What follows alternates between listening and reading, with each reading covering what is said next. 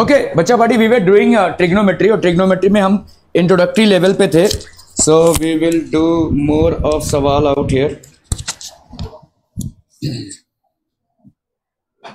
so in triangle O P Q right angle आपका भाई साहब ट्रायंगल है ओपी क्यू आए, कैसे हैं आप? ठीक ठाक? बहुत बढ़िया। तो in triangle O P Q right angled at P ये आपका भाई साहब कहाँ पे राइट एंगल है? पी पे। ओ पी की वैल्यू भाई साहब कितनी है? सेवन सेंटीमीटर ठीक है? तो यहाँ पे ओ पी की वैल्यू है भाई साहब सेवन सेंटीमीटर ठीक है? And O Q minus O P इसकी वैल्यू है one centimetre O Q minus O P इसकी वैल्यू दी हुई है one centimetre determine the values of sine Q and cos Q यहाँ पे आपको ये वाला एंगल लेना है. तो जैसे ही आपने साइन क्यू को कंसिडर किया तो ऑब्वियसली ये वाला क्या हो जाएगा? परपेंडिकुलर ये होगा आपका हाइपोटन्यूज और ये हो जाएगा आपका बेस ठीक है? क्लियर है? Are we clear on this one people हम चलिए बस अब कैसे करना बताइए, फटाफट। तो यहाँ पे अगर आप देखोगे ये है आपका सेवन सेंटीमीटर ये आपका हाइपोटन्यूज ये आपका भाई साहब। तो पहला पाइथागोरस थ्योरम क्योंकि आपको दो साइड्स यहाँ पे नहीं मालूम है। You are not aware of two sides ठीक है? You just have one side, which is 7 centimeter. So obviously you have to first calculate the values of the other two sides, क्योंकि आपको कम से कम यहाँ पे hypotenuse तो चाहिए ही चाहिए, और बेस वाला भी चाहिए। अगर ये वाला एंगल लिया है तो इसका ऑपोजिट वाला हो जाएगा आपका परपेंडिकुलर और ये वाला हो जाएगा आपका बेस हमेशा याद रखना, जो भी एंगल आपको कंसिडर करना है, या जिस एंगल की ट्रिग्नोमेट्रिक वैल्यूज़ निकालनी है, उसके ऑपोजिट साइड को आप परपेंडिकुलर लेंगे. ठीक है? क्लियर ओके तो आपका भाई साहब यहाँ पे क्या अप्लाई करेंगे? बाई पाइथागोरस थ्योरम ठीक है?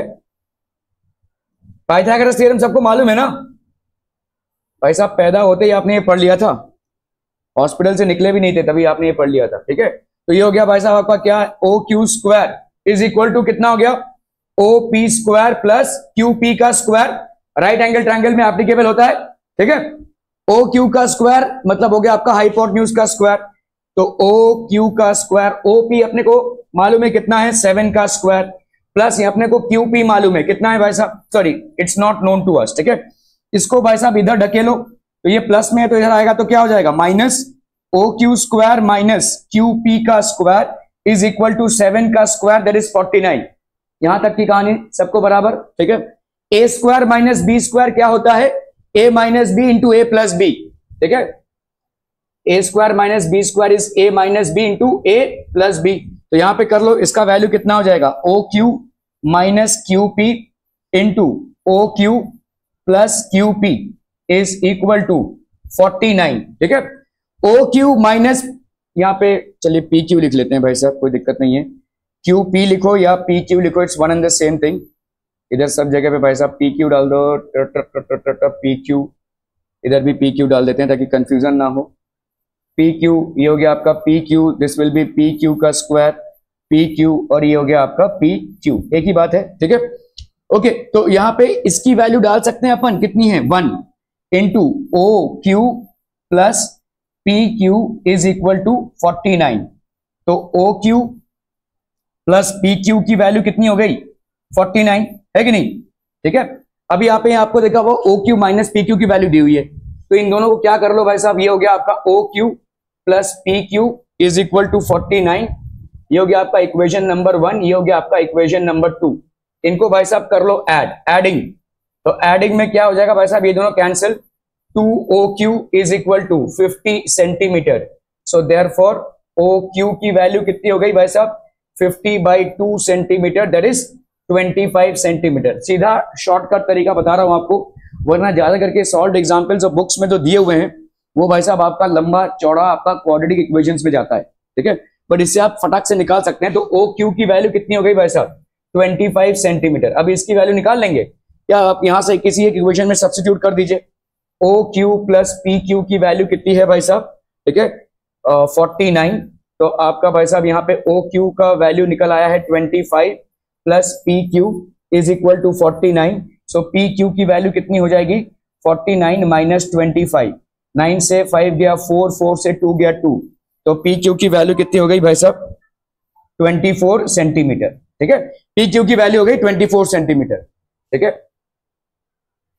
This is basically twenty four centimetre are we clear on this one ये हो गया आपका twenty five centimetre clear clear clear बच्चा बाडी ठीक है? ट्वेंटी फाइव ट्वेंटी फोर और सेवन तो ये वाला वैल्यू कितना हो गया? ट्वेंटी फाइव ये हो गया भाई साहब सेवन और ये हो गया आपका ट्वेंटी फोर ठीक है? ओके डिटरमिन द वैल्यूज़ अभी साइन क्यू की वैल्यू कितनी हो जाएगी? Sine Q that is perpendicular upon hypotenuse ठीक है? परपेंडिकुलर अपॉन हाइपोटन्यूज तो ये परपेंडिकुलर कितना है? O P upon hypotenuse O Q तो परपेंडिकुलर कितना है? सेवन बाई ट्वेंटी फाइव ठीक है? इसी तरह से भाई साहब आपका कॉस क्यू क्या हो जाएगा? बेस अपॉन हाइपोटन्यूज ठीक है? तो बेस की वैल्यू कितनी हो गई भाई साहब आपकी? P Q upon hypotenuse that is O Q तो पी क्यू की value twenty four upon twenty five clear are we clear ठीक है? Done done done done clear है भाई साहब? ओके ओके ओके चलिए भाई साहब सोल्यूशन देख लेते हैं यहाँ पे। तो यहाँ पे आपने, ये ये लंबा है। मेरे ख्याल से या मेरे सुझाव से भाई साहब, इस प्रोसेस में मत जाइए, ठीक है? तो आपका पाइथागोरस थ्योरम इसको आप एक्सपैंड करेंगे तो ये सेवन स्क्वायर तो आपका भाई साहब लंबा चलेगा ये। वन प्लस टू एक्स ठीक है? एक्स की वैल्यू ट्वेंटी फोर आई। चलिए इसमें आ गया जल्दी, लेकिन जनरली आपका कॉर्डिक इक्वेशन अगर ये एक्स स्क्वायर कैंसिल नहीं होता था तो लंबा चलता था, ठीक है? ओके सो आपका भाई साहब हो गया 24 four plus one that is 25 वही सेम वैल्यूज़ आई हैं, ठीक है? तो ये हो गया 24 25 now we can calculate sine Q will be equal to seven by twenty five और cos Q will be equal to twenty four by twenty five are we clear on this one people हम समझ में आता ठीक है? Okay okay okay क्या हो गया रे? से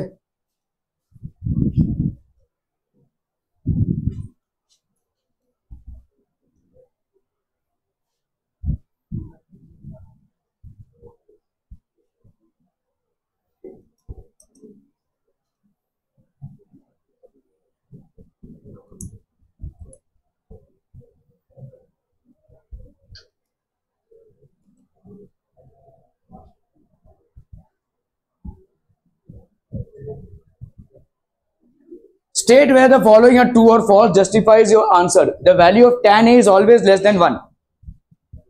Tan A, किसी भी ट्रायंगल में tan A की वैल्यू क्या होगी? परपेंडिकुलर अपॉन बेस समझ लो भाई साहब, यहाँ पे।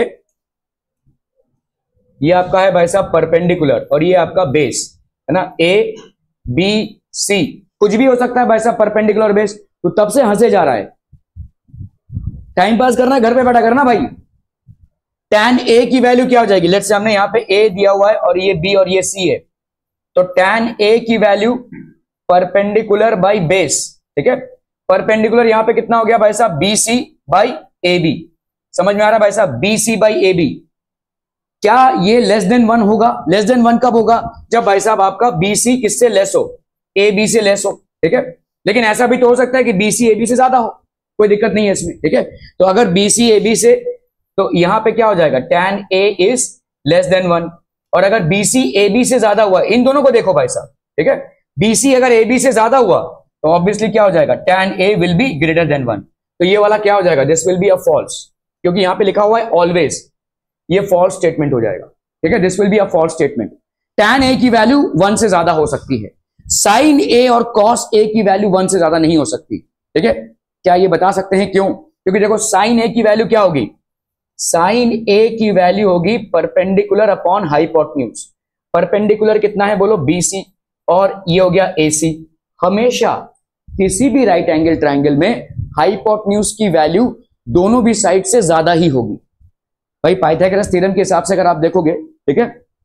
तो in any right angle triangle in any right angled triangle hypotenuse is always greater than any of the two sides तो मतलब आपका अगर समझ लो ये ट्राइंगल एबीसी है ए सी आपका बाय डिफ़ॉल्ट बीसी से ज़्यादा होगा और ए सी आपका बाय डिफ़ॉल्ट ए बी से भी ज़्यादा होगा।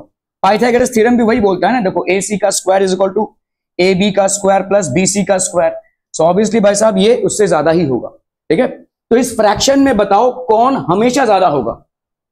ए सी हमेशा ज़्यादा होगा। और अगर भाई साहब किसी फ्रैक्शन में डिनोमिनेटर की वैल्यू ज़्यादा होगी तो ऑब्वियसली भाई साहब क्या हो जाएगा? ये लेस देन वन हो जाएगा। This fraction will be less than one तो साइन ए की वैल्यू भाई साहब क्या होगी? लेस देन वन होगी। ऑलवेज लेस देन वन होगी। ऐसा ही भाई साहब कॉस ए में भी हो जाएगा। कॉस ए क्या होगा? बेस अपॉन हाइपोटन्यूज ठीक है? बेस अपॉन हाइपोटन्यूज मतलब क्या हो जाएगा? ए बी एक मिनट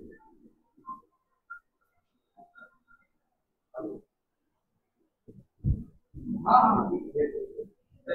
हाँ मैं हाँ मैं हाँ हाँ।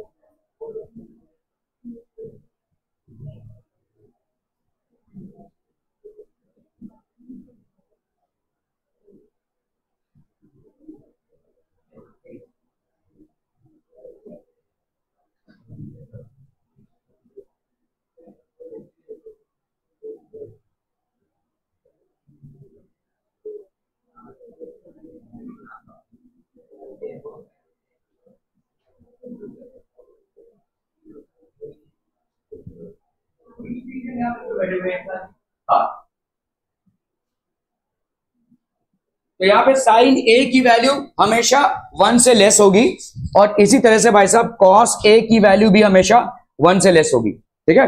Because hypotenuse will always be greater than either of the two sides लेकिन टैन ए की वैल्यू वन भी हो सकती है वन से ज़्यादा भी हो सकती है वन से लेस भी हो सकती है। क्योंकि टैन ए में आप जिन दोनों साइड्स को कंपेयर कर रहे हैं, इनमें से कोई भी कम ज़्यादा हो सकता है। लेकिन साइन ए या कॉस ए में हाइपोटन्यूज दोनों में डिनोमिनेटर है।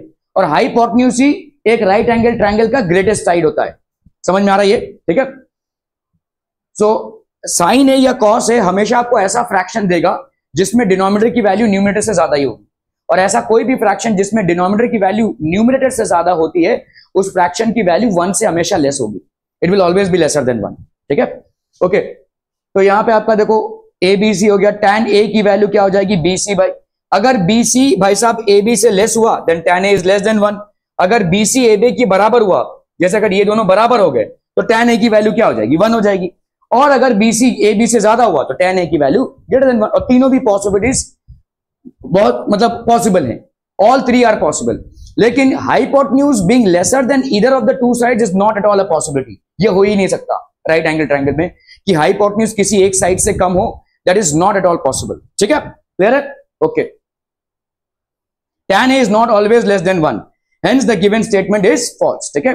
State whether following are true और false justified your answer in sec A की वैल्यू ट्वेल्व बाई फाइव है और some value of angle A क्या ये हो सकता है? सेक ए क्या होता है? देखो कॉस ए क्या हो जाएगा? वन बाई सेक ए है कि नहीं? वन बाई सेक ए मतलब 1 by 12 by 5 तो ये क्या हो गया? Five by twelve. क्या ये हो सकता है? वेरी मच पॉसिबल क्योंकि कॉस से होता क्या है? बेस अपॉन हाइपोटन्यूज भाई साहब, ये ट्वेल्व है और ये फाइव है। वेरी मच पॉसिबल तो यस इट इज़ पॉसिबल ठीक है? स्टेट तो वेदर द फॉलोइंग ट्रू तो ये आपका भाई साहब हो जाएगा ट्रू ये पॉसिबल है। इट इज़ पॉसिबल ठीक है? अगर ऐसा होता सेक ए की वैल्यू दी हुई है फाइव बाई ट्वेल्व तो क्या ये पॉसिबल होता? देखो इसका मतलब कॉस ए की वैल्यू क्या हो जाती थी? One by five by twelve तो मतलब क्या हो जाता था भाई साहब? ट्वेल्व बाई फाइव मतलब आपका बेस और हाईपोटन्यूज का जो रेशियो है, वो ट्वेल्व बाई फाइव होता था विच इज़ नॉट पॉसिबल क्योंकि हाईपोटन्यूज आपका फाइव हो और बेस आपका ट्वेल्व हो, ये पॉसिबल ही नहीं है. ठीक है? Hypotenuse always has to be greater than either of the two sides दोनों साइड से हाईपोटन्यूज की वैल्यू हमेशा ज़्यादा होगी. तो ये पॉसिबल ही नहीं है. ठीक है? क्लियर है? यहाँ पे ये वाला पॉसिबल है. वेरी मच पॉसिबल ठीक है? तो क्या हम बोल सकते हैं सेक ए की वैल्यू वन से ज़्यादा हो सकती है? यस हो सकती है। ठीक है? ओके तो यहाँ पे आपका सेक ए की value hypotenuse sec A can never be less than one इसका वैल्यू लेस देन वन होएगा ही नहीं। ठीक है? सो ये आपका ग्रेटर ही है।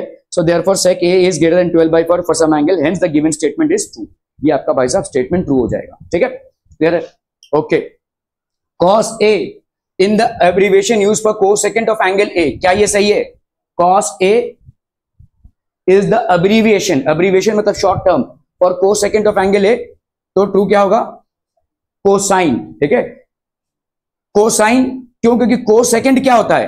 को सेकेंड का अब्रीविएशन होता है कोसेक को सेकेंड का होता है भाई साहब कोसेक और कोसेक ए क्या होगा? वन बाई साइन ए होता है. ठीक है? कॉस का भाई साहब किससे आ रहा है ये? कोसाइन से आ रहा है. कोसाइन क्लियर है भाई साहब? Are we clear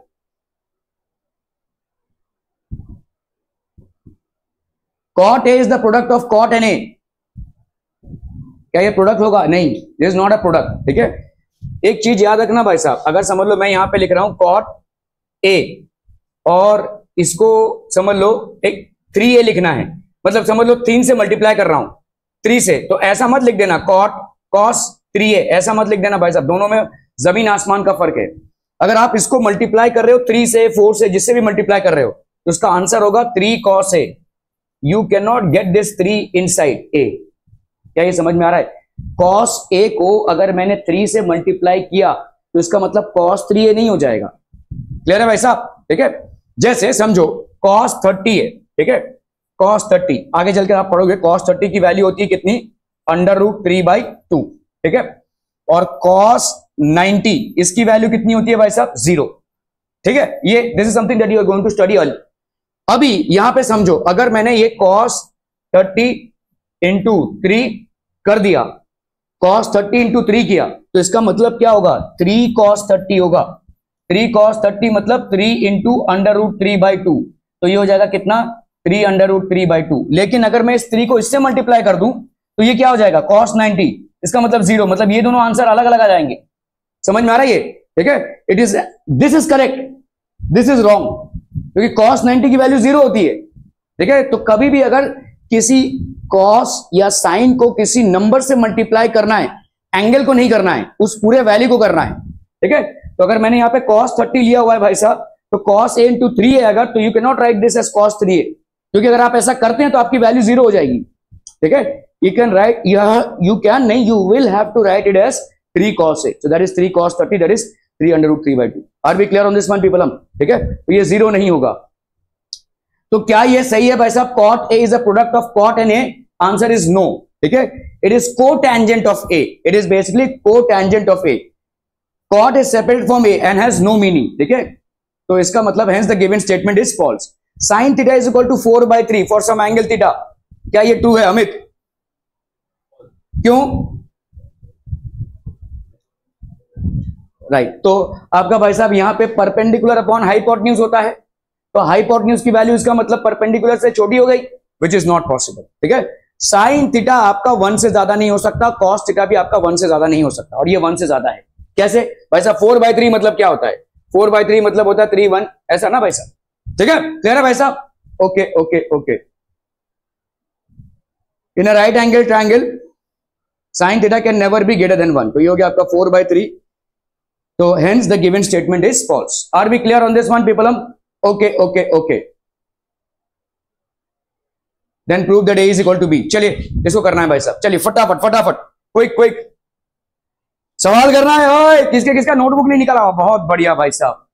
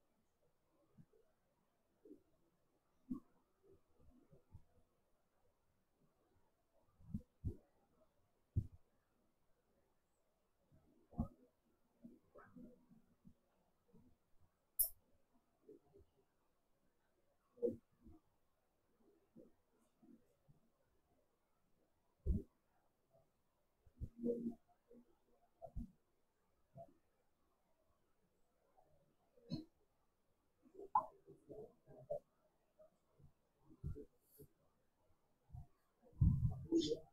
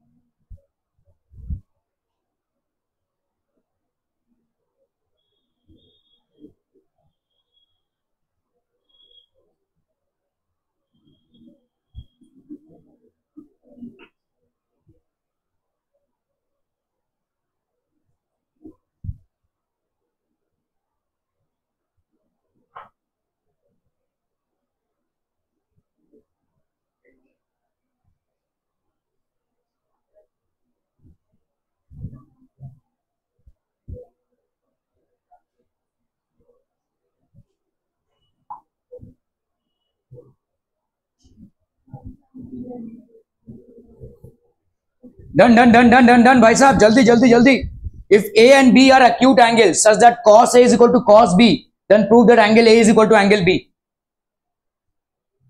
A और बी भाई साहब अक्यूट एंगल से और कॉस है और कॉस बी बराबर है। तो आपको यहाँ पे प्रूव करना है कि angle A is equal to angle B कैसे प्रूव करेंगे भाई साहब cos of angle A is equal to cos of angle B ये दिया हुआ है आपको, ठीक है? आपको ये प्रूव करना है कि angle A is equal to angle B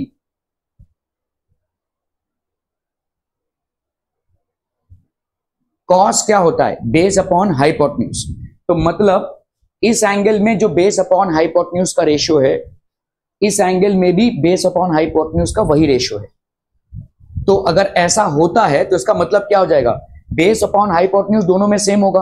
और अगर बेस अपॉन हाइपोटन्यूज दोनों में सेम होगा तो ऑब्वियसली परपेंडिकुलर की वैल्यू भी सेम ही होगी पाइथागोरस थ्योरम से। तो इसका मतलब ये वाला ट्रायंगल और ये वाला ट्रायंगल सिमिलर हो जाएँगे। समझ में आ रहा है भाई साहब ये? ठीक है, देखो, समझ लो ये भाई साहब आपका एक ट्रायंगल है, ये आपका ए है। ए और इसका कुछ भी नाम दे दो भाई साहब, क्योंकि बी नहीं रख सकते अपन। लेट से ये दूसरा ट्राइंगल है बी समझ में आ रहा है भाई साहब? ठीक है? यहाँ पे दिया हुआ है कॉस ए और कॉस बी बराबर है। लेट से आपका क्या नामकरण करें? एक्स वाई सोम चलेगा। तो यहाँ पे क्या? जैसा तू बोले। एल एम रख देते हैं।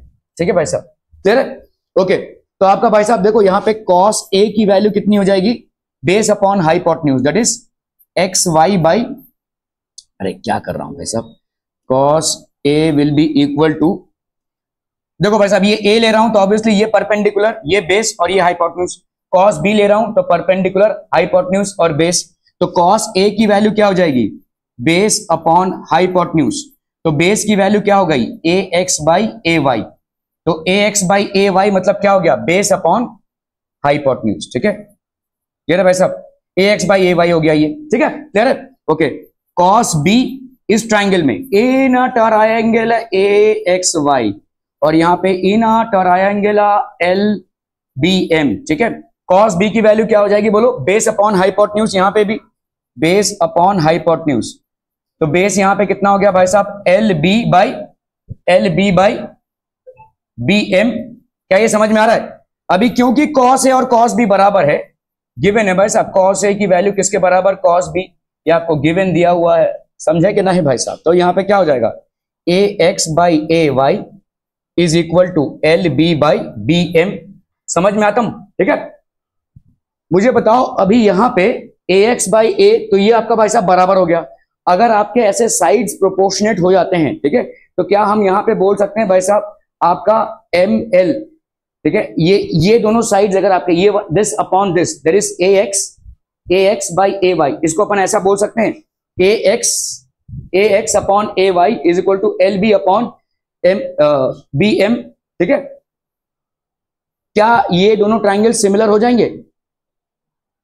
कैसे? दोनों, कैसे सताओ अरे भाई, दोनों का ये तो राइट एंगल है ना। एक एंगल बराबर, ठीक है? ये आपका भाई साहब, क्या हो गया? ये हो गया आपका भाई साहब साइड्स का प्रोपोर्शनलिटी और दूसरा ये क्या हो जाएगा? Angle X is equal to angle L which is equal to 90 degree है कि नहीं? ठीक है तो अपन क्या बोल सकते हैं? देयर फॉर ट्राइंगल कौन सा भाई साहब? वाई एक्स ए या A X Y triangle A X Y is similar to triangle B L M reason बोलो भाई साहब, क्या हो जाएगा? Side side angle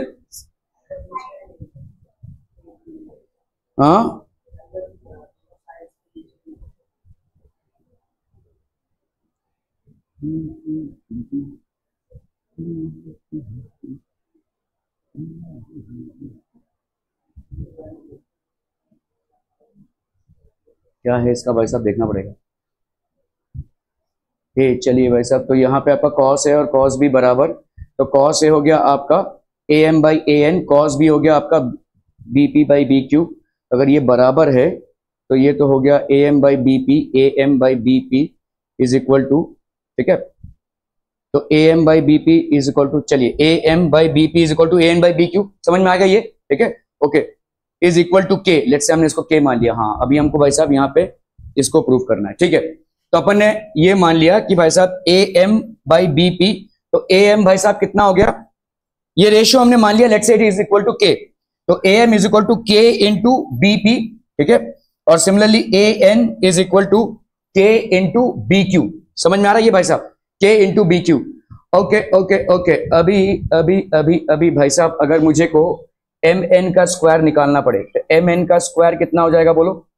A N का स्क्वायर माइनस ए एम का स्क्वायर पाइथागोरस थ्योरम लगा रहे भाई साहब। ए एन का स्क्वायर कितना है? के स्क्वायर बी क्यू का स्क्वायर माइनस ए एम का स्क्वायर ठीक है? ए एम का square that is K into B P का स्क्वायर है कि नहीं भाई साहब?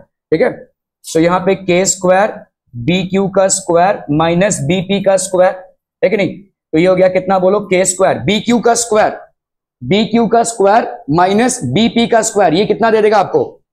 पी क्यू का स्क्वायर है कि नहीं? पाइथागोरस थ्योरम लगाओगे अगर? तो एम एन का स्क्वायर क्या हो गया? के स्क्वायर एम एन का स्क्वायर तो taking square root of both sides अपन क्या लिख सकते हैं? M N is equal to K into P Q तो भाई साहब, इधर ऐड कर दो. M N by P Q is equal to K अभी तो हमको एंगल की भी ज़रूरत नहीं है, ठीक है? तो इस यहाँ पे भाई साहब is equal to M N by P Q तीनों भी साइड्स भाई साहब प्रोपोर्शनेट हो गए. तो एस एस एस से ये दोनों ट्राइंगल्स क्या हो जाएँगे? सिमिलर हो जाएँगे। और अगर सिमिलर हो गए तो ये दोनों एंगल्स आपके बराबर हो जाएँगे।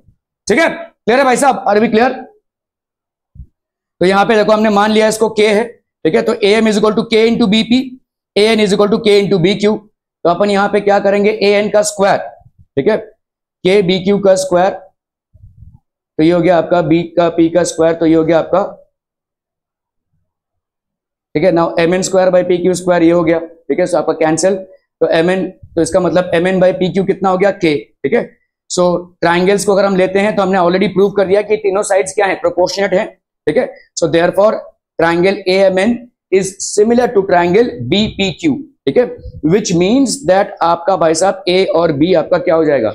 Corresponding angles of similar triangles ठीक है? Corresponding angles of similar triangles ये दोनों बराबर हो जाएँगे। ओके ओके ओके चलिए भाई साहब इसको करना है। फटाक से जल्दी जल्दी जल्दी quick quick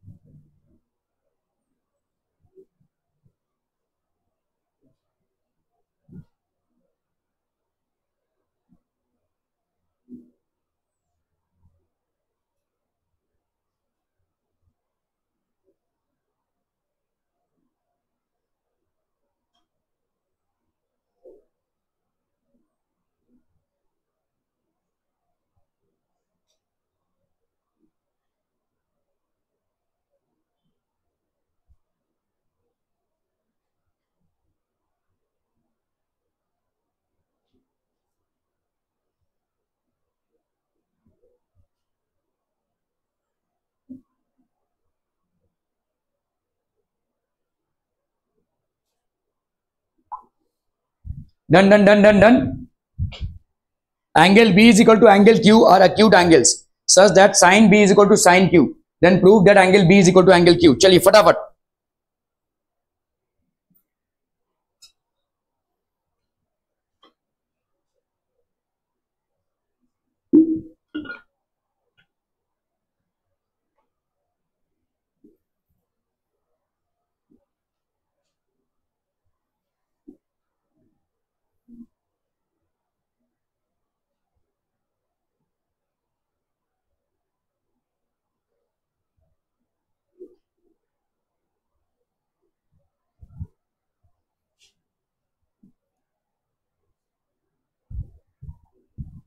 ऐसे सेम इसी तरह से प्रूव करना है आपको, ठीक है?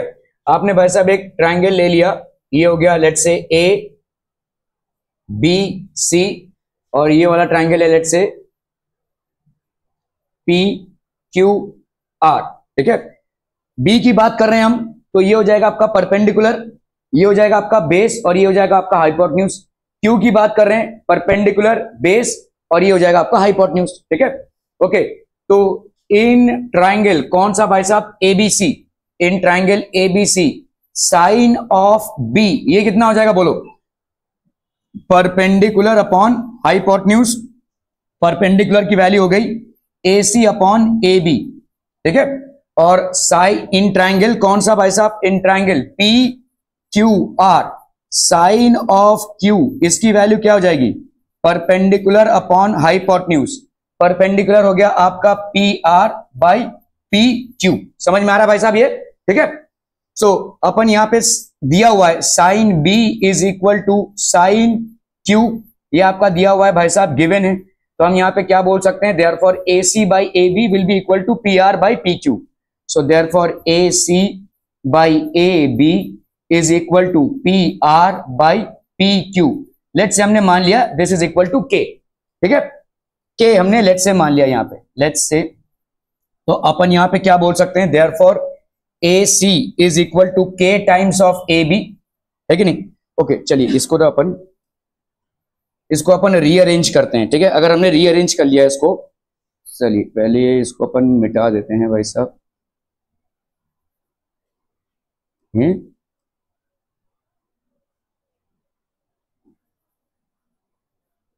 ठीक है? तो इसको अपन क्या लिख सकते हैं? देखो, इसको अगर हमने इस तरफ़ लिया तो this can be done as A C by P R is equal to A B by P Q और लेट से ये है के लेट से ठीक है? हमने मान लिया कि भाई साहब, ये के के बराबर है। सो देयर फॉर ए सी की वैल्यू क्या हो गई बोलो? के टाइम्स ऑफ़ पी आर ठीक है? और आपका भाई साहब यहाँ पे ए बी की वैल्यू क्या हो गई? देयर फॉर ए बी की वैल्यू हो गई के टाइम्स ऑफ़ पी क्यू ठीक है? क्लियर है भाई साहब? ओके तो अगर हम यहाँ पे ए सी ए सी का और ए बी का तो हम यहाँ पे क्या लिखा सकते हैं भाई साहब? बी सी का स्क्वायर क्या हो जाएगा? अप्लाइंग यहाँ पे क्या कर रहे हैं? Pythagoras theorem applying Pythagoras theorem to triangle A B C applying Pythagoras theorem to triangle A B C हम यहाँ पे क्या लिख सकते हैं भाई साहब? यहाँ पे हो गया आपका ए बी सी का square will be equal to A B का स्क्वायर बी सी का हाँ बी सी का स्क्वायर ए बी का स्क्वायर माइनस ए सी का स्क्वायर है कि नहीं एक्चुअली में है ए सी का square is equal to A B का स्क्वायर प्लस बी सी का स्क्वायर लेकिन हम यहाँ पे बी सी का क्या कर रहा है ये अपना जर्नल कंप्लीट कर रहा है अच्छा सॉल्व कर रहा है जर्नल कंप्लीट कर रहा है नहीं चलिए बी सी का स्क्वायर इज़ इक्वल टू यहाँ पे बी सी का स्क्वायर कितना हो जाएगा ए बी का स्क्वायर माइनस ए सी का स्क्वायर ठीक है तो ये हो गया आपका सी का स्क्वायर ए बी की जगह पे अपन क्या लिख सकते हैं? K times of P Q का स्क्वायर माइनस ए सी का स्क्वायर मतलब K times of P R का स्क्वायर तो ये हो गया भाई साहब आपका K square P Q square minus K square P R square B C का स्क्वायर हो गया. तो यहाँ पे सी का square is equal to K square P Q का स्क्वायर माइनस पी आर का स्क्वायर अभी इस वाले ट्राइंगल में आते हैं. P Q minus P R ये कितना हो जाएगा भाई साहब? क्यू आर है कि नहीं? तो बी सी का square will be equal to K times of Q R का स्क्वायर ठीक है? बी सी का स्क्वायर बाई क्यू आर का square is equal to K K का square I am so sorry यहाँ पे के का स्क्वायर है। तो taking square root of both sides taking square root of both sides यहाँ पे क्या हो जाएगा भाई साहब? B C by Q R is equal to K B C by Q R is equal to K ठीक है? क्लियर है? अभी B C by Q R is equal to K हो गया और इतना तो अपन प्रूव कर ही चुके थे। तो अपन यहाँ पे क्या बोल सकते हैं? Therefore in triangles triangles कौन सा भाई साहब? A B C and P Q R ठीक है? A C by P R is equal to A B by P Q is equal to B C by Q R that is all equal to K समझ में आ रहा है भाई साहब? तो देयरफॉर हम यहाँ पे क्या बोल सकते हैं? Therefore triangle A B C is similar to triangle P Q R triangle A B C is similar to triangle P Q R reason यहाँ पे क्या हो जाएगा बोलो? S S S side side side अगर ऐसा होता है तो आपका क्या हो जाएगा? Angle B angle B is equal to angle Q ठीक है? एंगल बी और एंगल क्यू बराबर हो जाएगा। क्यों? Corresponding angles of similar triangles ठीक है? सो हेंस प्रूव हो गया आपका। क्लियर है? Are be clear of this process people हम नहीं समझा? ओके तो देखो, यहाँ पे आपको क्या है? Angle B and Q are acute angles acute angles का ही सिलसिला रहेगा। आप इस पे ज़्यादा ध्यान मत दीजिए, ठीक है? अक्यूट एंगल्स मतलब दोनों में से कोई 90 नहीं है, ठीक है? और यहाँ पे ये बोलना ज़रूरी क्यों है? क्योंकि अगर 90 होता तो वन हो जाता भाई साहब, ठीक है? ओके तो दोनों में से कोई 90 नहीं है मतलब कोई तीसरा एंगल ही आपका 90 डिग्री होगा, ठीक है? Such that sine B is equal to sine Q अभी साइन बी की वैल्यू साइन क्यू के बराबर है। तो यहाँ पे ये नहीं बोला जा रहा है कि दोनों भी एक ही ट्राइंगल के पार्ट हैं। तो obviously you will assume that both angles are parts of some other triangle ठीक है? तो आपने बोला भाई साहब, चलो ए बी सी एक ट्राइंगल हो गया और पी क्यू आर एक ट्राइंगल हो गया, ठीक है? तो ऑब्वियसली बात है कि जब हम बी की बात कर रहे हैं बी एक अक्यूट एंगल हो गया और क्यू भी एक अक्यूट एंगल हो गया। जब हम यहाँ पे बी की बात कर रहे हैं तो बी का ऑपोजिट क्या होगा? परपेंडिकुलर ये होगा बेस और ये होगा हाइपोटन्यूज क्यू का ऑपोजिट क्या होगा? परपेंडिकुलर ये होगा बेस और ये होगा हाइपोटन्यूज जिस भी ट्राइंगल को आप कंसिडर करते हैं, उसका ऑपोजिट साइड परपेंडिकुलर होता है। ठीक है? हाइपोटन्यूज तो हाइपोटन्यूज रहेगा। वो आपने बचपन में पढ़ा था sleeping line standing line slanting line पता नहीं क्या क्या ठीक है? हमको तो भाई साहब एक थप्पड़ मार के बोला जाता है ये ए है, लिखना है, लिखो, वरना दूसरा थप्पड़ रेडी है. आप लोगों के साथ भाई साहब किंडर गार्डन में मैं देख रहा हूँ, तीन चार साल का प्रोसेस है standing line sleeping line slanting line पता नहीं क्या क्या ये सर्किल फिर आप समझेंगे ओ क्या होता है ज़ीरो क्या होता है।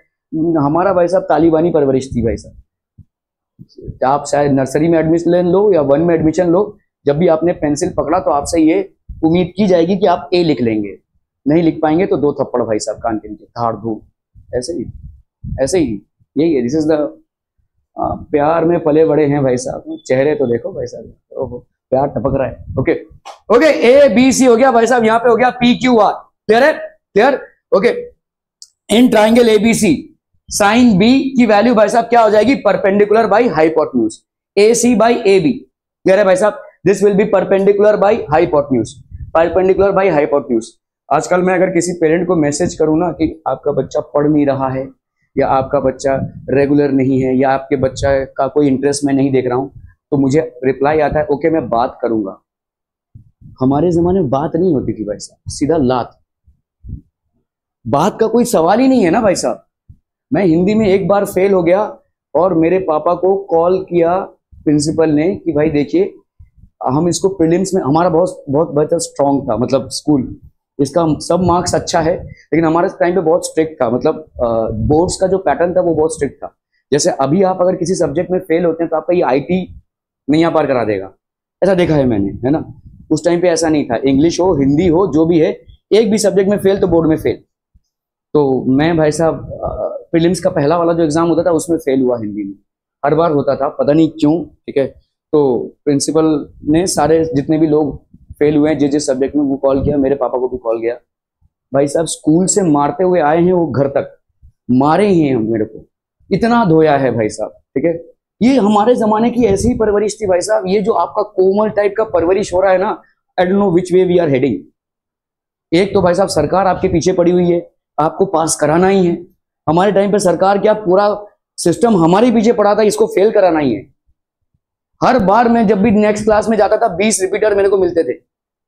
बीस रिपीटर होंगे ही होंगे, जिसमें से दस आउट हो जाएँगे अगले साल, क्योंकि स्कूल दो साल के बाद नहीं रखता था। बीस को तो टीचर ज़बरदस्ती का फेल कराते थे। ज़बरदस्ती का। अरे तुमने ये लाइन ठीक से ड्रॉ नहीं किया। ये आप क्या भाई साहब वो हो आओ आओ, विराजो। भाई साहब, किसमें पास नहीं होना, किसमें पास होना है? बेटा बता तो दे। बीस मार्क्स का तो ऐसे ही तुमको हम दे रहे हैं। जर्नल लिख के दिखा दो भाई साहब। वो वाओ, भाई साहब टैलेंट देखो, जर्नल लिख रहे हैं। ओहो। चुम्मा बीस मार्क्स ऐसे ही आ जाएँगे आपके। अस्सी मार्क्स के लिए स्ट्रगल है। उसमें भी भाई साहब, और ये बाप रे, पसीने छूट रहे हैं लोगों के। का ही पढ़ लोगे भाई साहब? कितने दूर तक जाओगे? है भाई साहब, यही सिस्टम है। सरकार भी थक चुकी है ना भाई साहब। सरकार इसलिए थक चुकी है क्योंकि अगर मेरा सिस्टम जैसा हमारे टाइम पे सिस्टम था, आप अपने मम्मी पापा से पूछ लीजिएगा भाई साहब। मैं तो बॉयज़ स्कूल में पढ़ता था, जहाँ पे सिर्फ़ लात जूता मारा मारी यही सब होता था। जब आप लड़कियों के बीच में रहते ना तो फिर से शरीफ आप बन जाते हैं। लेकिन हमारे अंदर कोई शराफत नहीं थी। आज भी नहीं है। वैसे ही मैन्युफैक्चरिंग हुई है हमारी। आज भी वो कॉलेज जो है बॉयज़ कॉलेज ही है। उसका नाम ही है बॉयज़ कॉलेज तो ऐसा ही था हमारा सिस्टम भाई साहब। हमको मतलब लठेड़ लठेड़ के, दौड़ा दौड़ा के मारते थे टीचर्स लोग। कुछ मतलब ऐसे मैं बैठा हुआ हूँ भाई साहब, वो आकाश जहाँ पे बैठा हुआ है, वहाँ पे एक और बंदा बाजू में बैठा हुआ था, उसने कुछ तो ऐसा हरकत किया। वुडन डस्टर उठा के ऐसे सर ने मारा धाड़ से। मैं देख रहा हूँ उसके गलगले से खून निकल रहा है भाई साहब। कुछ नहीं, कोई दिक्कत नहीं है भाई साहब। लेकर गया उसको ऑफ़िस में। ऑफ़िस वाला बोला रही तो ठीक है भाई साहब। और पियोन पियोन जो है, वही सिलाई कर रहा है भाई साहब। उसको इतनी ट्रेनिंग हो चुकी थी। वही स्टिच लगा रहा है भाई साहब। ऐसे लगा दिया उसने स्टिच लगा दी कोई कंपाउंडर नहीं, कोई डॉक्टर नहीं। हो गया स्टिच चलो, भागो यहाँ से। This was the environment in which we were bought up आज जो आपकी परवरिश है ना, एकदम मक्खन वाली I don't think it is taking you any अभी सरकार क्या करे? सरकार बोलिए कि भाई साहब लिटरेसी रेट हमारा इतना डाउन है, इसको ऊपर कहाँ तक लेकर जाए अगर हमने 20 बच्चों को एक क्लास में फेल करा दिया, अगले साल भाई साहब मर मर के सिर्फ़ पाँच ही बच्चे उसमें से पास होंगे, पंद्रह फिर से फेल होंगे। मतलब ये पंद्रह तो इनका एडुकेशन तो बंद हो गया। इनके आपके पास पैसा हो या ना हो, इनके पास सामर्थ्य कॉलेज जाने का हो या ना हो, लेकिन ये तो आउट हो गए सिस्टम से। मतलब हमारा लिटरेसी रेट और ड्रॉप होगा। तो ये आपको ऐसे ले ले ले ले ले करके पास कराया जा रहा है भाई साहब। ये क्या करें हम? ये सिस्टम है। सरकार को अपना लिटरेसी रेट भी तो देखना है भाई साहब। पूरे दुनिया के ऊपर जवाबदारी है। कल को भाई साहब इतने सारे जो हमारे इंटरनेशनल क्लाइंट्स हैं, जो हमारे फॉरेन कंट्रीज़ हैं, जो हमको बिज़नेस देते हैं, जब इंडिया का लिटरेसी रेट ये देखेंगे भाई साहब, पहले भाग जाएँगे। वो ये क्या आदिवासियों के बीच में कहा हम अपना बिज़नेस दें? सीधी बात है भाई साहब। Whatever is going on, you are fortunate. And maybe things will become all the more easy in the long run. Is it is this growing as well that's a big question इसका evolution नहीं हो रहा है। धीरे धीरे और बंद हो जाएगा। ये ए आई वाई जो भी हो रहा है आपका, पता नहीं हम किस हद तक जाएँगे, लेकिन ये इवॉल्व नहीं हो रहा है। इसका एवोल्यूशन उतना ही बंद होता जा रहा है। यू आर नॉट थिंकिंग एक less thinkable mind is what is getting manufactured in the interim और इसका खामियाजा हम सबको भुगतना है। आप देखिए ना, आज की तारीख में आपका अटेंशन लेवल आज है ही नहीं, मैं बोल रहा हूँ। अच्छे से अच्छे स्टूडेंट का ज़्यादा से ज़्यादा अटेंशन लेवल 45 मिनट का रह सकता है। बहुत बहुत मेहनत किया तो। एकदम मतलब ठान के बैठ लिया कि दिमाग में और कुछ घुसना ही नहीं देंगे। तो 45 मिनट में दम तोड़ देगा भाई साहब। कोई भी। क्योंकि आपका अटेंशन लेवल डिवाइडेड है भाई साहब। ये इसमें चला गया है पूरा अटेंशन और इसका रिस्पॉन्सिबिलिटी सिर्फ़ आप पे नहीं है, हम पे भी है, पूरे सिस्टम पे है। आपका टेंशन रील्स मतलब क्या होता है? मुझे बताओ रील्स मतलब क्या होता है? शॉर्ट वीडियोस कितना शॉर्ट वन मिनट भी ज़्यादा हो गया। वन मिनट मतलब टा वन मिनट टा वैसा आपका अटेंशन लेवल वैसे तो हो रहा है। आप दिन में बचा पचास रील देख लिया तो आप, आपका अटेंशन लेवल भाई साहब कितने नैनो सेकंड्स में पहुँच गया आपको मालूम ही नहीं है। रील्स क्यों फ़ेमस हैं? क्योंकि हमारे पास भाई साहब टाइम नहीं है पूरी पिक्चर देखने का। टक टक टक टक टक टक रील्स फ़ेमस हो रही है भाई साहब। इतने मिलियन व्यूज़ रील्स में मिल रहे हैं। शॉर्ट वीडियो देखा, भाई साहब बनाओ फट फट चलेगा भाई साहब। कुछ भी उसमें डाल दो। क्योंकि हमारा अटेंशन लेवल भाई साहब गिर रहा है। We can not focus for more than a minute in anything however entertaining it is कोई एंटरटेनमेंट की चीज़ में भी आप भाई साहब एक मिनट से ज़्यादा नहीं फोकस कर पा रहे पढ़ाई तो दूर की बात है। आपका अटेंशन लेवल गिरेगा ही गिरेगा। This is going to happen ये एक नॉर्मल प्रोसेस है। और इस प्रोसेस में ज़िम्मेदारी सिर्फ़ आपकी नहीं है, हम सबकी है। हम सबकी है। पूरे पूरे इस इस इस मीडियम का है, पूरे सिस्टम का है। साइन ए ये हो गया आपका ए बी सी और ये हो गया आपका पी क्यू आर ठीक है? बी और आपका हो गया भाई साहब क्यू ठीक है? तो इन ट्राइंगल्स ए बी सी और ट्राइंगल पी क्यू आर आप जानते हैं जापान में क्या सिस्टम चलता है? इन जापान और चाइना पीपल आर वहाँ पे भाई साहब एक पैसे का नेचुरल रिसोर्स नहीं है। उल्टा भाई साहब, वो अर्थ को एक प्रोन कंट्री हर दो महीने में एक बार झटका तो आ ही जाएगा। जो आपने बना बनाया है, वो सब बिगड़ जाएगा। ऐसा ही है। ऐसे ऐसे उसमें जीते हैं लोग। लेकिन जापान और चाइना जैसे नेशंस में people are showing a tremendous inclination towards education reason क्योंकि भाई साहब, उनको टर्शरी लेवल को बढ़ाना है। आपका प्राइमरी सेकेंडरी और टर्शरी ऑक्यूपेशन होता है। और आपने पढ़ा रहेगा कि जिस देश में जितना ज़्यादा टर्शरी ऑक्यूपेशन प्रचलित होगा, उतना ज़्यादा उस देश का विकास होगा। एक एक वर्ल्ड वॉर में पूरा तहस नहस हो जाने के बाद, पहली बार न्यूक्लियर अटैक होने के बाद भी आज जापान एक डेवलप नेशन इसलिए है क्योंकि उन्होंने अपने एजुकेशन के सिस्टम को बहुत अच्छे से पकड़ा हुआ है। और बहुत पहले से मेहनत की है, बहुत पहले से। हम तो भाई साहब बहुत लेट हो गए, हमारा एजुकेशन देखो भाई साहब नीट का बवाल, ये बवाल, वो बवाल, हर हर एग्जामिनेशन में झोल, यही सब चल रहा है। ये झोल क्यों हो रहा है? क्यों हो रहा है ऐसा झोल? हमारे हर एग्जामिनेशन में क्यों झोल निकल रहा है भाई साहब? हर कंपटीशन लेवल एग्जामिनेशन में झोल क्यों निकल रहा है? और अक्सर आप देखोगे कि भाई साहब, बड़े आपको कभी बोर्ड में झोल नज़र आएगा क्या? नहीं, कभी नहीं सुनोगे भाई साहब। किसी बोर्ड में झोल होगा। आराम से लोग 90 क्रॉस कर रहे हैं। लेकिन यही 90 क्रॉस करने वाले लोगों का कंपटीशन में पसीने छूट जाते हैं। नहीं कर पाएँगे वो। क्योंकि वहाँ पे ना तो जर्नल का बेनिफिट मिलेगा, वहाँ पे ना तो भाई साहब आपको यू नो वैसे लीनियंट मार्किंग का बेनिफिट मिलेगा, और वहाँ पे ऐसा ऐसा कोई भी बेनिफिट नहीं। वहाँ पे क्लियर फ़िल्टर है। आप हैं या आप नहीं है? सिंपल आप में वो बात है या नहीं है? एकदम क्लियर कट फ़िल्टर है वो। जितने भी कंपटीशन लेवल में आप क्लियरली फ़िल्टर हो गए। तो इसीलिए मैं कभी कभी बोलता हूँ, और शायद शायद इस बात का दूसरा नज़रिया ना लें, लेकिन मैं ये बोलता हूँ कि बोर्ड में स्कोर करना और कंपटीशन लेवल में स्कोर करना दोनों में ज़मीन आसमान का फ़र्क है। अक्सर आप देखेंगे कि किसी बच्चे ने बोर्ड में उतना अच्छा नहीं किया है ट्वेल्थ में, या टेंथ में भी, लेकिन क्रैक कर लिया उसने आई या नीट क्रैक कर लिया उसने, क्योंकि उसका बेस फाउंडेशन और एप्लीकेशन बहुत स्ट्रांग था। मेरे मेरे टाइम पे हुआ था कि मैंने भाई साहब जर्नल नहीं दिया था अपना। कॉमर्स एक मतलब एक छोटा सा, जैसे आप आईटी लेते हैं ना, उस टाइम पे हमारा एक कॉमर्स का सब्जेक्ट हुआ करता था। मैंने जर्नल से ही सबमिट किया था। मेरे बीस मार्क्स चले गए। तो हो सकता है तो ऐसा बहुत सारा सेटिंग भी रहता है स्कूल के सर हैं और भाई साहब, आप उनकी क्लास में नहीं जा रहे हैं। जर्नल में वो मार्क का मार्क्स आपके काट देंगे वैसा होता है। अभी भी हो रहा है। मेरे साथ हुआ था। मैं, मेरे साथ एक हिंदी टीचर का पंगा था। उन्होंने मेरे मार्क्स काट लिए थे ऐसे। तो क्या करें अभी? ये सब होता ही रहता है। तो मेरे मेरे कहने का मतलब ये है कि आप अगर समझो, एक सिंपल सा एग्ज़ाम्पल दे रहा हूँ। आईआईटी में भाई साहब आपके पाँच सौ तेईस, पाँच सौ दो, पाँच हज़ार दो सौ तेईस सीट्स हैं। प्रीमियम इंजीनियरिंग कॉलेज है। इंजीनियरिंग का मार्केट आज की तारीख में बहुत सैचुरेटेड है। India is the largest manufacturer of engineers ठीक है?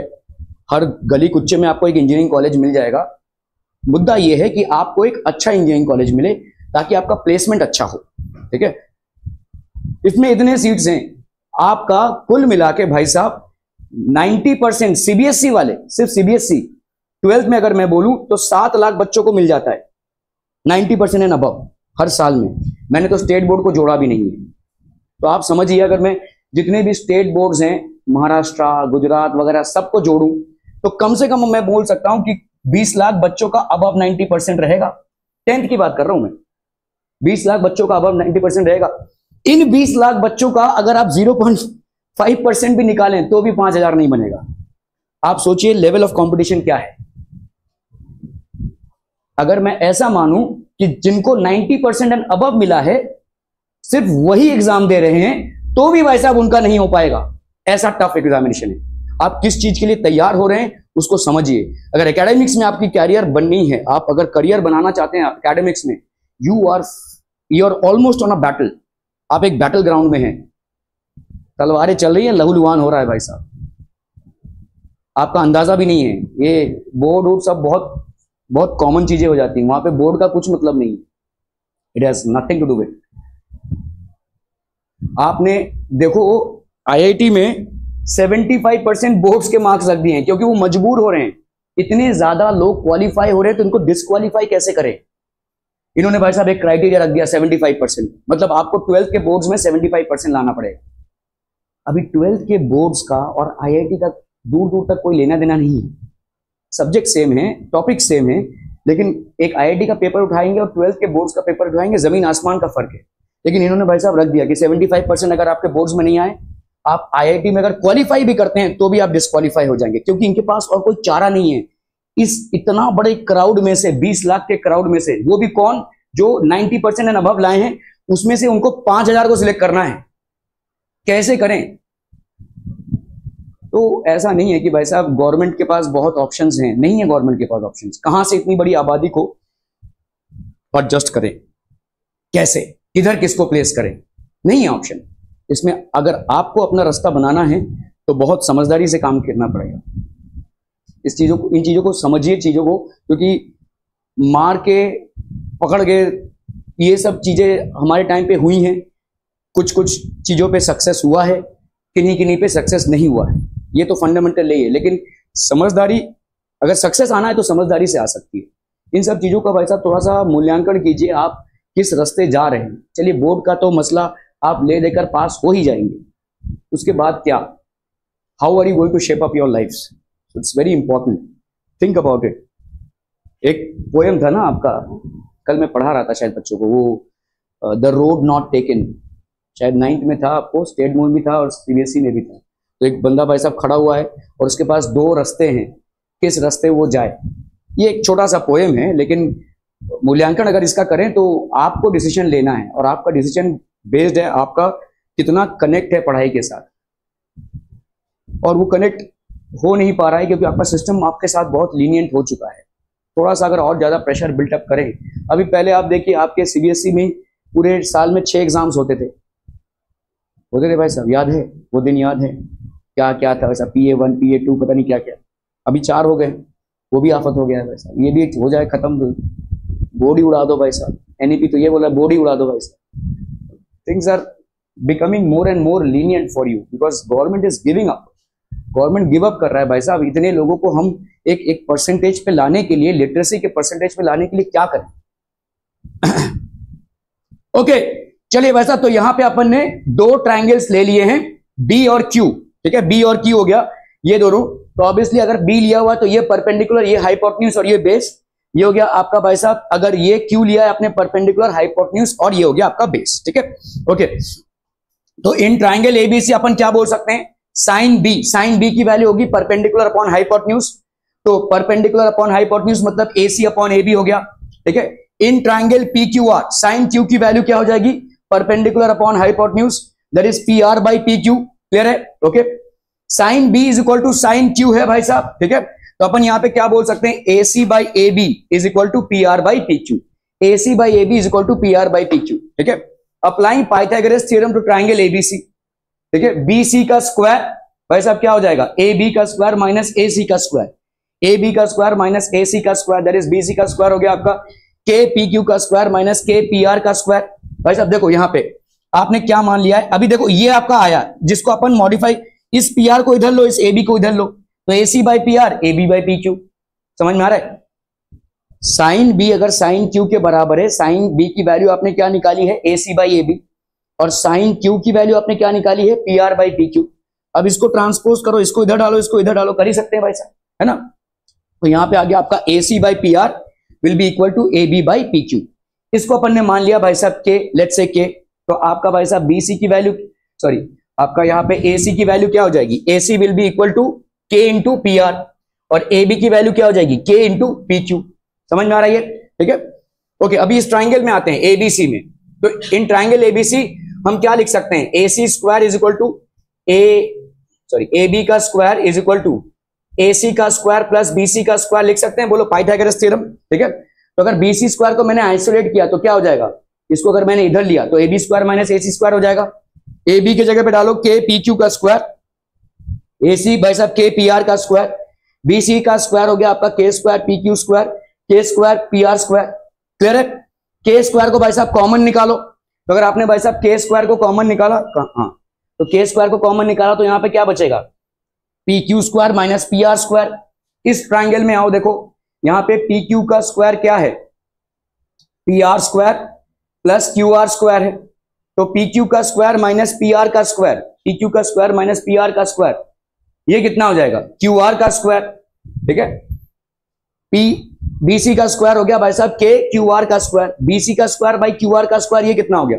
क्यू के का स्क्वायर तो अगर हम स्क्वायर रूट लेते हैं दोनों तरफ़ तो बीसी बाई क्यू आर क्या हो गया? के अभी तक आपने क्या प्रूव कर लिया A C by P R is equal to A B by P Q इसकी वैल्यू के है.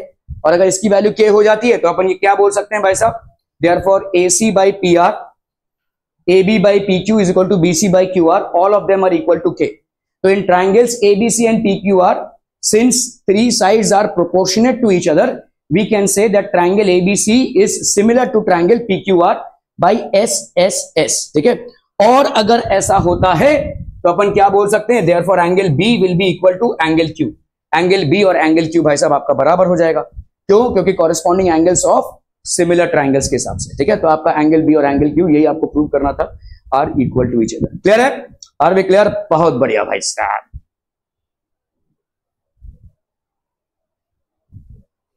ठीक है? सो अपन ने मान लिया B and Q are acute तो sine B is equal to sine Q हो गया साइन बी हो गया साइन क्यू ठीक है? तो A C by A B is equal to P R तो A C by A B इसको अपन ने रिप्लेस किया, ठीक है? तो A C by P R is equal to इसको अपन ने अगर के मान लिया, ठीक है? A C is equal to K और ये हो गया ए बी तो आपका भाई साहब ए बी का स्क्वायर हो गया ये, ठीक है? तो बी सी का स्क्वायर हो गया ये के स्क्वायर तो पी क्यू का स्क्वायर हो गया आपका P Q square plus Q R square तो बी सी का स्क्वायर बाई क्यू आर का स्क्वायर अगर हम इसको डिवाइड करते हैं तो के के की वैल्यू आ गई। तो B C by Q R हो गया आपका के अगर आप इसको देखेंगे तो ऑलरेडी हम प्रूव कर चुके हैं कि ये के के बराबर है, अभी ये भी के के बराबर हो गया। तो तीनों साइड भाई साहब क्या हो गया प्रोपोर्शनेट हो गए। अगर तीनों साइड प्रोपोर्शनेट हो गए तो इसका मतलब तो तीनों साइड अगर आपके प्रोपोर्शनेट होते हैं A C by P R A B by P Q B C by Q R तेरा साथी है टेस्ट के लिए आज, टेंशन नहीं तो फ्रॉम वन एंड फोर तो A C B is similar to P R Q ठीक है? A C B similar to P R Q तो आपका बी और क्यू ये कौन अल्लू मलिक है भाई साहब यहाँ पे? टूक टाक टूक टाक किया जा रहा है। ठीक है? चलिए भाई साहब इसको करना है, फटाफट क्विक क्विक जल्दी।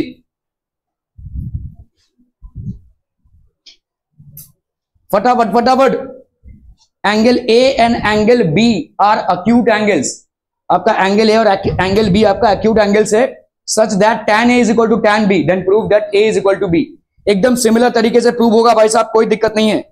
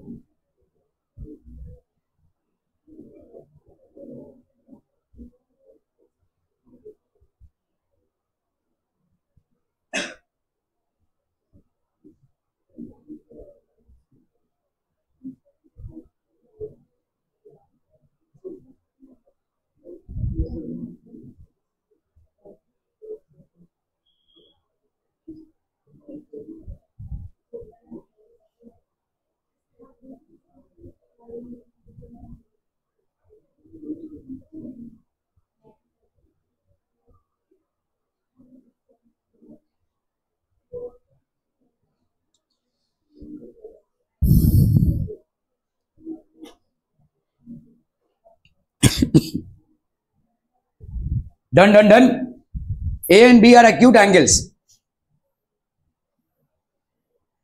ये लेट से ए हो गया ये ये इसको कुछ और ही लेना पड़ेगा। सो हम क्या लिया जाए भाई साहब? एक्स सो हम एक्स वाई चलिए भाई साहब है ये हो गया आपका लेट से बी ये हो गया पी और ये हो गया क्यू समझ में आ रहा है ये? सो so, आपका यहाँ पे अपन क्या बोल सकते हैं? और tan ए की वैल्यू बच्चा party in in triangle A X Y in triangle A X Y tan A की वैल्यू कितनी हो जाएगी बोलो? परपेंडिकुलर अपॉन बेस परपेंडिकुलर आपका कितना हो गया? X Y upon base that is A Y ठीक है भाई साहब? टैन ए की वैल्यू ये हो गई. क्लियर हम बच्चा body okay okay okay similarly यहाँ पे अपन बोल सकते हैं इन ट्राइंगल कौन सा भाई साहब? B P Q B P Q tan B की वैल्यू कितनी हो गई? टैन बी की वैल्यू हो गई भाई साहब perpendicular upon base that will be equal to P Q by B Q तो ये हो गया आपका P Q by B Q ठीक है? ये हो गया आपका टैन बी टैन बी की वैल्यू हो गई, ठीक है? तो आपको यहाँ पे दिया हुआ है टैन ए और टैन बी बराबर है। तो tan A is equal to tan B तो अपन क्या बोल सकते हैं? Therefore X Y by A Y is equal to P Q by B Q ठीक है? जिसको अपन क्या लिख सकते हैं? X Y by P Q is equal to A Y by B Q ऐसा लिख सकते हैं? के लेट से ये हो गया आपका लेट से ठीक है? तो X Y is equal to K P Q ठीक है? A Y is equal to K B Q clear X Y की वैल्यू कितनी हो गई भाई साहब? के पी क्यू और ए वाई की वैल्यू कितनी हो गई? के बी क्यू अभी इन ट्राइंगल इन ट्राइंगल कौन सा भाई साहब? ए एक्स वाई ठीक है? ए एक्स का स्क्वायर कितना होता है भाई साहब आपका? एक्स वाई का स्क्वायर प्लस ए वाई का स्क्वायर तो अगर भाई साहब एक्स वाई को अपन आइसोलेट करते हैं, नहीं ए एक्स का स्क्वायर एक्स वाई नहीं। अब कहा? ए एक्स का स्क्वायर कितना हो जाएगा भाई साहब? इसको एक्स वाई की जगह पे अपन क्या लिख सकते हैं? के पी क्यू का स्क्वायर प्लस ए वाई की जगह पे क्या लिख सकते हैं? के बी क्यू का स्क्वायर समझ में आता हूँ? तो यहाँ पे आपका भाई साहब हो गया ए एक्स का square will be equal to K square P Q का square plus K square B Q का स्क्वायर तो ए एक्स स्क्वायर की वैल्यू कितनी हो गई? के स्क्वायर पी क्यू का स्क्वायर प्लस बी क्यू का स्क्वायर ठीक है? तो पी क्यू का स्क्वायर प्लस बी क्यू का स्क्वायर ये कितना हो जाएगा भाई साहब? के स्क्वायर बी पी का स्क्वायर ए एक्स स्क्वायर ठीक है? तो taking square roots taking square roots taking square roots A X की वैल्यू क्या हो जाएगी? के इंटू बी पी हो जाएगी. A X by B P की वैल्यू कितनी हो गई भाई साहब? के है कि नहीं? ठीक है? सो अभी मैं अगर इसको देखता हूँ, यहाँ पे क्या था भाई साहब? के एक्स एक्स वाई बाई इधर गया भाई साहब? ओके ये, ठीक है? सो फ्रॉम ये हो गया आपका वन और ये हो गया let say two so from one and two so from one and two we can say that X Y by P Q is equal to A Y by B Q is equal to A X by A X by B P ठीक है? Clear है भाई साहब? अगर ऐसा है A X Y by P Q X Y by P Q is equal to A Y by B Q is equal to A X by B P तो इसका मतलब हम बोल सकते हैं देयर फॉर ट्राइंगल कौन सा? A X Y is similar to triangle B P Q sequence बराबर होना चाहिए, ठीक है? आपका यहाँ पे रीजन क्या हो जाएगा भाई साहब? एस एस एस और अगर ऐसा है तो भाई साहब एंगल ए और एंगल बी क्या हो जाएँगे? Angle A will be equal to angle B hence proved ठीक है? क्लियर है, भाई साहब हेंस प्रूव्ड हो गया ये. ओके ओके ओके तो यहाँ पे दो ट्राइंगल्स दिया हुआ है, tan A is equal to tan B tan A की वैल्यू हो गई perpendicular by base tan B की वैल्यू हो गई. So this will be P Q अगर हमने इसको रिप्लेस किया, भाई साहब पी क्यू को इधर लिया ए एम को इधर लिया तो A M by B P ठीक है? So A M by B P अगर हमने, भाई साहब तो यहाँ पे इन ट्राइंगल्स क्योंकि ये बराबर हो गए तो हम यहाँ पे बोल सकते हैं, भाई साहब A is equal to angle B ठीक है? Okay okay okay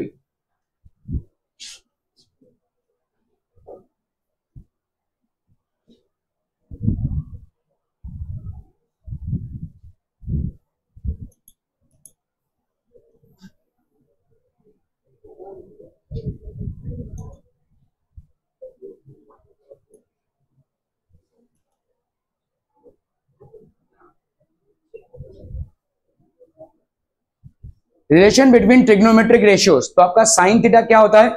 One upon but one upon one upon one upon Amit sine का उल्टा क्या होता है?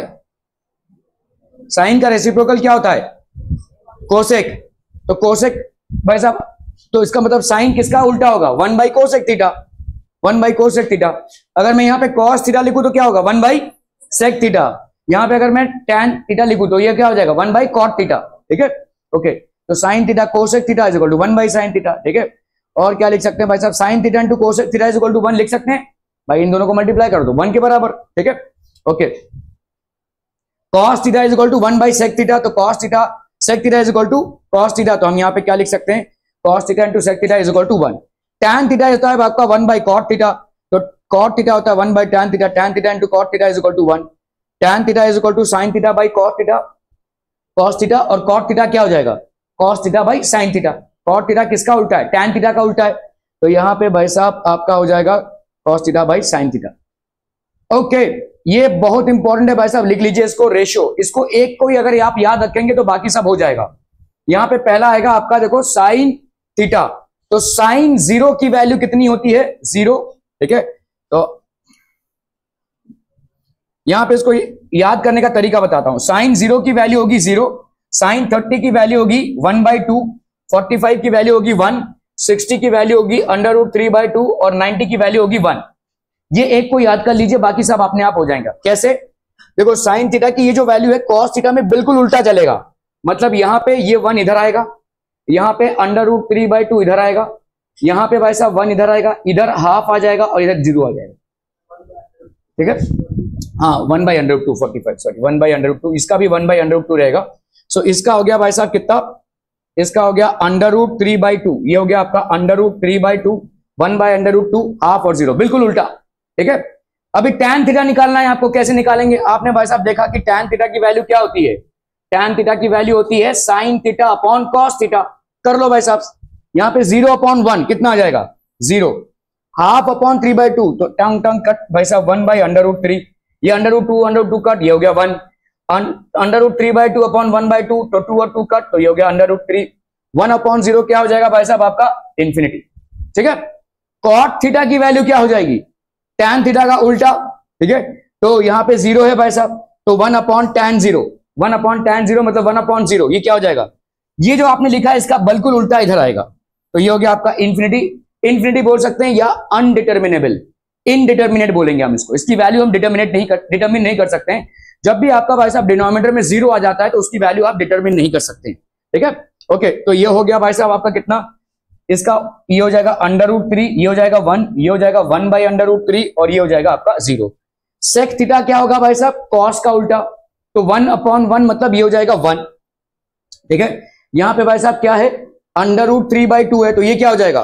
Two by under root three ये आपका one by under root two है तो ये क्या हो जाएगा? Under root two by one ये आपका वन बाई टू है तो ये क्या हो जाएगा? टू बाई वन और ये क्या हो जाएगा भाई साहब? ज़ीरो बाई वन है तो वन अपॉन ज़ीरो मतलब इनडिटर्मिनेट हो जाएगा। ठीक है? कोसेक थीटा पे आते हैं, यहाँ पे ज़ीरो है। ज़ीरो मतलब zero upon one one upon zero क्या हो जाएगा? इसका बिल्कुल, जैसे देखो आपने कॉस की जो वैल्यूज़ हैं, वो साइन की उल्टी थी वैसे कोसेक की जो वैल्यूज़ हैं, वो कॉस की उल्टी होंगी सेक की उल्टी होंगी। ये इन्फिनिटी है, ये भाई साहब हो जाएगा two actually two upon one is two ये भी आपका भाई साहब अंडर रूट टू ठीक है? तो टू ये होगा अंडर रूट टू ये हो जाएगा भाई साहब under root three by two ठीक है? और ये हो जाएगा आपका वन सॉरी ये हो जाएगा two by under root three two by under root three तो ये infinity infinity two two under root two under root two two by under root three और ये हो जाएगा आपका वन ठीक है? सो सिर्फ़ अगर आप साइन के वैल्यूज़ को याद कर लें तो ही काफ़ी है। साइन के वैल्यूज़ को याद कर लें तो ही काफ़ी है। आप पूरा टेबल भाई साहब एक सेकंड में बना सकते हैं ये। कोई दिक्कत नहीं है। ठीक है? तो यहाँ पे आपका साइन थीटा में ज़ीरो की जो वैल्यू है थर्टी की जो वैल्यू है फोर्टी फाइव की सिक्सटी और नाइनटी की कॉस थीटा बिल्कुल उल्टा चलेगा इसका। जो वहाँ पे 90 का वैल्यू है, वो यहाँ पे ज़ीरो का वैल्यू होगा। जो वहाँ पे 60 का वैल्यू है, वो यहाँ पे भाई साहब 30 का वैल्यू होगा। 45 में दोनों सेम रहेंगे भाई साहब। ठीक है? टैन में क्या हो जाएगा? Tan theta is equal to sine theta upon cos theta तो zero by one zero one by two under root three by two cancel cancel one by under root three one by under root two upon one by under two गया one under root three by two upon one by two गया under root three one upon zero गया infinity ठीक है? है? Cot theta भाई साहब, क्या हो जाएगा? इसका रेसिप्रोकल ज़ीरो बाई वन का रेसिप्रोकल क्या होगा? One by zero which is infinity one by under root three का रेसिप्रोकल क्या होगा? Under root three by one which is under root three तो ऐसे भाई साहब, सारे टेबल को आप डिनाई कर सकते हैं। एक सिर्फ़ इसकी वैल्यू अगर आपको मालूम है, ठीक है? किसी एक की वैल्यू से आप पूरे वैल्यूज़ को डिटरमिन कर सकते हैं। तो यहाँ पे देखो भाई साहब, इसका एक और तरीका क्या है? Working zero by four one by four two by four three by four four by four sine theta का। ठीक है? सबको अंडर रूट में कर दो। ऐसे अगर याद रखना है आपको। Zero one two three four upon सब में फोर और सबका रूट निकाल दो। तो zero by four under root one by four under root two by four under root three by four under root four by four under root ये एक mnemonic है मतलब याद करने का तरीका है, ठीक है? ओके तो यहाँ पे कितना आ गया? देखो ज़ीरो बाई फोर मतलब ये तो ज़ीरो ही आएगा। वन बाई फोर वन का अंडर रूट होगा वन और फोर का अंडर रूट होगा टू तो वन बाई टू ये हो गया आपका one by under root two एक मिनट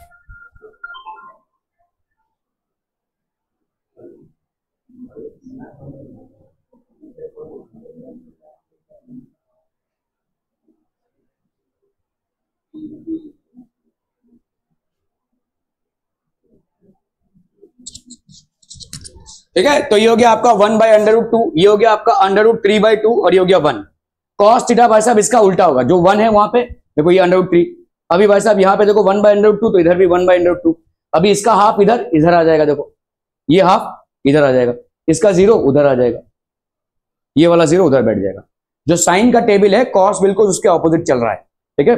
टैन क्या हो जाएगा? साइन बाई कॉस ठीक है? ये टैन थीटा क्या होता है भाई साहब? आपका sine theta upon cos theta होता है।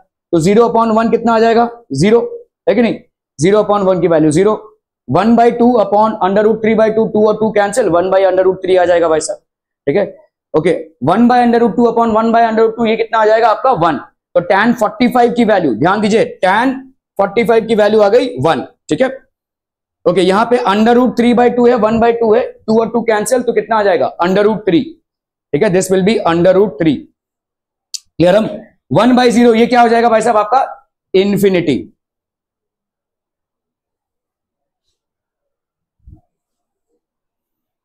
हम्म हम्म हम्म। ठीक है? ओके कॉट थीटा की वैल्यू क्या हो जाएगी भाई साहब? This is basically the value of cot theta not determinate या हम इसको इन्फिनिटी भी बोलते हैं। ठीक है? इनडिटर्मिनेट बोलेंगे आप। इनडिटर्मिनेट इसकी वैल्यू डिटर्मिन नहीं कर सकते। ठीक है? ओके जैसे ही आपका डिनोमिनेटर में ज़ीरो आता है तो वो नॉन डिटर्मिनेट हो जाएगा। ठीक है? Okay okay okay. Sec theta की value two by under root three under root two clear are we clear on this one people हम ठीक है? This would be the table आपको इस पूरे टेबल को भाई साहब नहीं याद करना है। आपको सिर्फ़ भाई साहब इस, इसका साइन का याद करना है। और साइन का याद करने का एक सिंपल सा तरीका यह है। बाकी सब आप आराम से भाई साहब, एक मिनट लगेगा आपको डिवाइस करने में। So the more you try to remember the more chances would there be to goof up ठीक है? अभी अचानक से भाई साहब, आपसे किसी ने पूछ दिया साइन टेन फोर्टी फाइव की वैल्यू बताओ। तो आप भाई साहब वन टू ये सब करते रहेंगे। आपको भाई साहब, कुछ नहीं करना। साइन फोर्टी फाइव का वैल्यू आपको याद है, कितना है? One by under root two cos forty five की वैल्यू फटाफट से टेबल पाँच वैल्यूज़ डालिए। आपको दिखेगा कि कॉस फोर्टी फाइव मतलब आपने अगर ये ये टेबल लिख लिया तो आप cos 45 की वैल्यू निकाल लीजिए। cos 45 की वैल्यू कैसे निकालेंगे? cos थीटा की वैल्यूज़ लिखिए, उल्टा चलिए। इस टेबल को ऐसे उल्टा चलाइए। तो देखो यहाँ पे वन बाई अंडर टू है, यहाँ पे भी वन बाई अंडर टू है। तो आपका टैन थीटा क्या होता है? टैन थीटा हमको मालूम है क्या होता है भाई साहब? Tan theta is equal to sine theta upon cos theta तो ऑब्वियस सी बात है भाई साहब, आपका टैन 45 का वैल्यू क्या हो जाएगा? साइन 45 अपॉन कॉस 45 ठीक है? साइन 45 की value one by under root two cos 45 की value one by under root two तो ये हो गया आपका वन तो टेन 45 की वैल्यू हो गई वन बस खत्म. ठीक है? टेन 45 तो आपको याद करने की ज़रूरत नहीं है. आपको सिर्फ़ भाई साहब एक टेबल याद रखना है साइन थर्टी की. साइन थर्टी की one two three four five ये पाँच वैल्यू याद रखनी है और याद रखने का एक सिंपल तरीका है भाई साहब. Zero by four one by four under root में. Two by four three by four और फोर बाई फोर इसको आप अंडर रूट में कर लेंगे तो वो वैल्यूज़ भी आपकी आ जाएगी. ठीक है? Are we clear on this one Okay, thank you so much for your valuable time today.